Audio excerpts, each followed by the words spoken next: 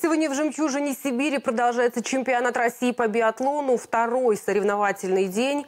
Одиночная смешанная эстафета стартовала в 11 часов утра. На месте работает моя коллега Мария Минухова. Она на связи. Маш, привет. Что сейчас происходит? Пробежали ли уже спортсмены дистанцию?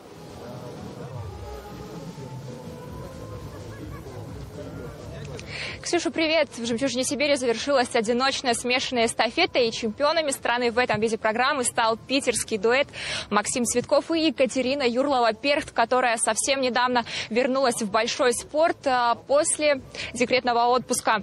А, Екатерина пробежала свою первую гонку вчера, и в, жен... в женском спринте она стала 34-й, а уже сегодня поднялась на первую ступень пьедестала почета.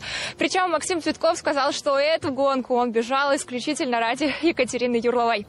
Вторыми э, в этом виде программы стал стал дуэт из Тюменской области. Это Виктория Сливкоя, бронзовый призер Олимпийских игр в Сочи Евгений Гараничев. Причем к последней стрельбе Гараничев вместе с Цветковым подходили а, вместе. Но, к сожалению, Евгений допустил несколько промахов и отправился бежать штрафные круги. Максим Цветков казался чуть быстрее. Третьим в этом виде программы стал дуэт из Свердловской области Тамара Дербушева и Кирилл Бажин. Вообще сейчас а, всех интересует а, только один вопрос. Где же брать мотивацию нашим спортсменам спортсменам для продолжения а, своей профессиональной карьеры. Ведь, как мы знаем, а, российский спорт оказался не в самой простой ситуации сейчас.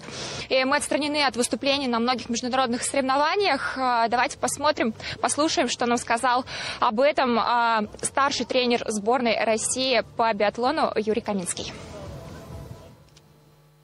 Настоящий спортсмен не должен искать мотивацию, она должна быть в нем изначально заложена. Вот. Поэтому я не вижу проблем. Другой э, вопрос, как организовать систему соревнований, чтобы она была интересна зрителям, чтобы она развивала наш спорт.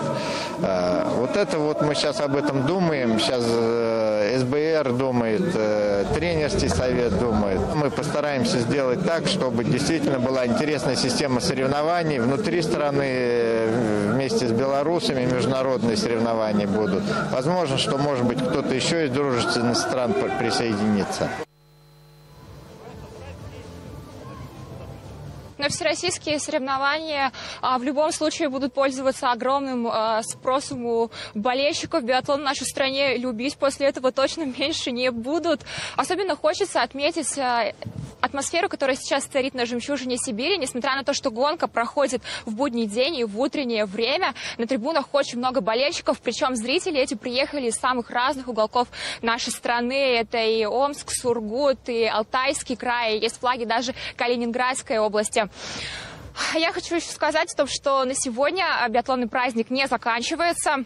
А в 13.30 у нас начнется классическая смешанная эстафета, а за ходом этой гонки вы обязательно сможете следить на телеканале «Тюменское время» в прямом эфире. Гонки для вас прокомментирует Дмитрий Рыбьяков. Ксюша. Маш, спасибо. Зрелищных гонок пожелаем болельщикам и удачи спортсменам.